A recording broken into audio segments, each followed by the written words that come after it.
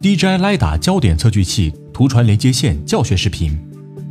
DJI LiDAR 焦点测距器 RS 图传连接线可以将 DJI LiDAR 焦点测距器 RS、DJI 图传发射器、DJI RS 跟焦电机2022以及外部电源连接在一起，与相机及手动镜头搭配使用，可实现镜头标定与自动对焦，形成一套跟焦监看系统。此系统还可以与 DJI RS3 Pro 配合使用，即可实现急增稳、远程监看、遥控、自动跟焦的系统。使用前，请务必确认所有设备均为当前最新版本固件。莱达焦点测距器 RS 图传发射器及图传高亮监视器，请连接至电脑，并使用 DJI Assistant 2 Ruin 系列调参软件进行固件升级。跟焦点机2022。可使用此连接线连接至图传发射器后，将图传发射器连接至电脑，并使用 DJI Assistant 2 Ruin 系列调参软件。进入 DJI 图传发射器页面后，在固件升级页面点击 DJI RS 跟焦电机2022进行固件升级。线材接口及功能介绍：DC Out 和 USB-C 图传连接线连接至 DJI 图传发射器 DC In 电源输入接口及 USB-C 接口，用于供电及通信。USB-C 跟焦电机连接线连接至 DJI RS 跟焦电机2022，用于供电及通信。双 USB-C LiDAR 连接线连接至 DJI LiDAR 焦点测距器 RS，用于供电及通信。P-Type 电源连接线连接至具有 P-Type 接口的外部电源，为其他接口所连接的设备供电。安装孔使用包装内附带的英制四分之一螺丝或公制 M4 螺丝。可将此连接线固定至摄影机上的对应螺纹孔。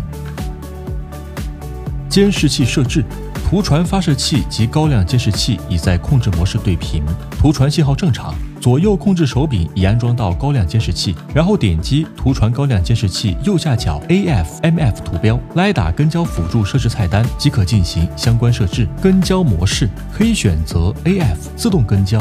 或 MF 手动跟焦，可使用右手柄 AF 按键切换 AF/MF 模式。在 MF 模式下，可使用右控制手柄波轮进行手动跟焦。跟焦区域可以选择广域和自由点。使用普通镜头时，此处显示开始校准，点击即可校准跟焦电机。镜头配置：C 一、C 二、C 三。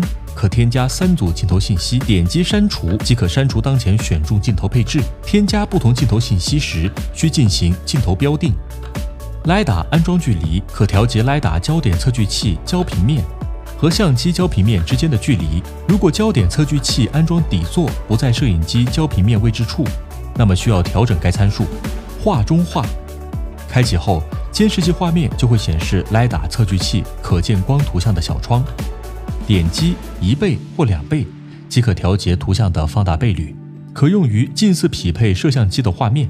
跟焦灵敏度可调节跟焦速度，支持五档调节，数值越大表示跟焦速度越快。镜头配置，当需要使用 LiDAR 进行自动跟焦时，需进行镜头校准及标定。以下为您介绍镜头标定流程：在镜头配置处点击 C 二，输入镜头焦距值，点击开始镜头校准。校准完成后，点击确认，将相机画面中心对准约一米处被摄主体，推荐对准人进行校准。此时画中画显示 LiDAR 可见光图像和距离。当框出目标距离值在一米左右时，使用右手柄波轮控制摄影机镜头合焦后，点击确认，再将相机画面中心对准约四米处被摄主体。当框出目标距离值在四米左右时，使用右手柄波轮控制摄影机镜头合焦后。点击完成，即可完成镜头标定。